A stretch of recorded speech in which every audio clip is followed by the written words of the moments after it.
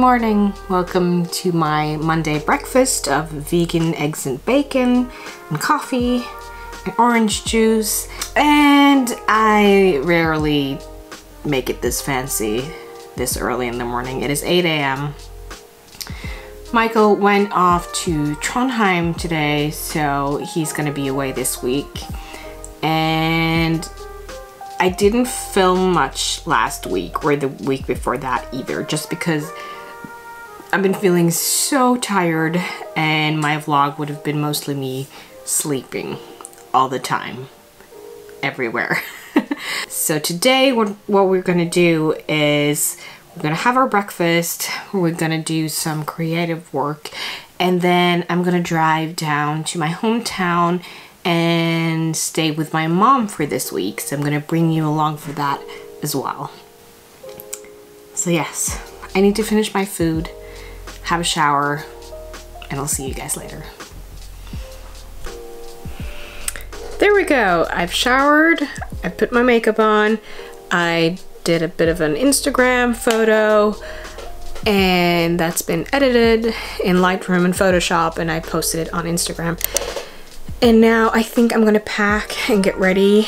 The drive to my mom's place is about an hour and 15 minutes if there's no traffic, but if I'm gonna make that time and not end up stuck in rush traffic, then I need to get ready.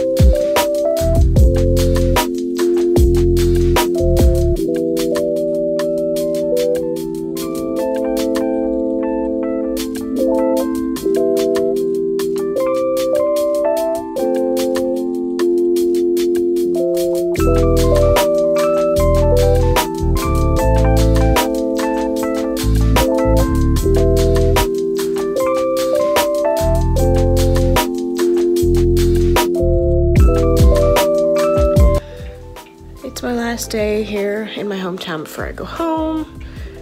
I'm really tired. I did not sleep well last night. Yes. Hey, Dago.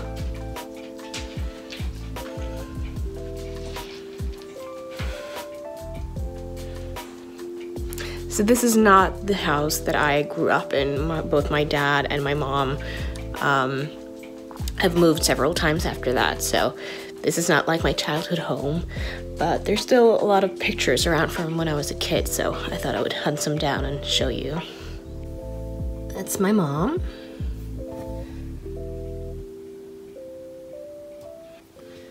My mom and my stepdad.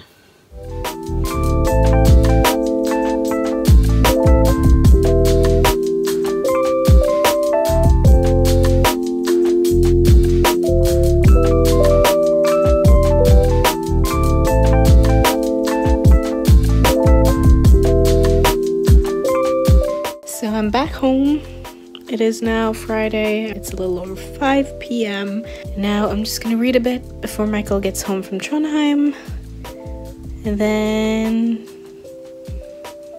we'll see.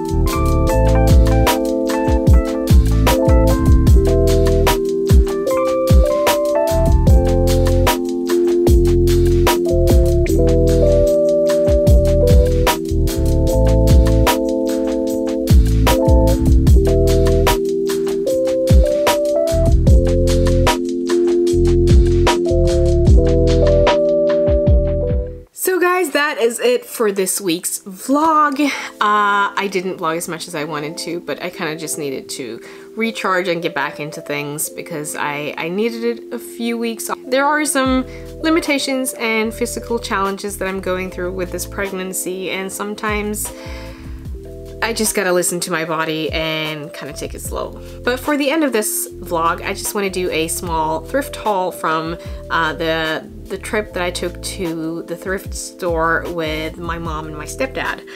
So what I got was four books and a mug. And the first book that I got was a hardback copy of Stephen King's Hearts in Atlantis, which is a Stephen King novel that I haven't read before. So I'm excited about this. I don't really know what it's about even. I haven't seen the movie adaptation either. So that's gonna be interesting. Look forward to reading that.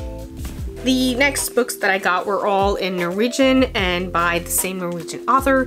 I've read one of his books before and I absolutely loved it. It was recommended to me by my father and I've been thinking about it a lot ever since. It's been years since I read it and it was the third book in a series. I know that sounds weird but you can easily read that one as a standalone but I want to read the rest of the series. It is thriller suspense and the author is Tom Egeland, which he's known kind of as the Norwegian version of Dan Brown.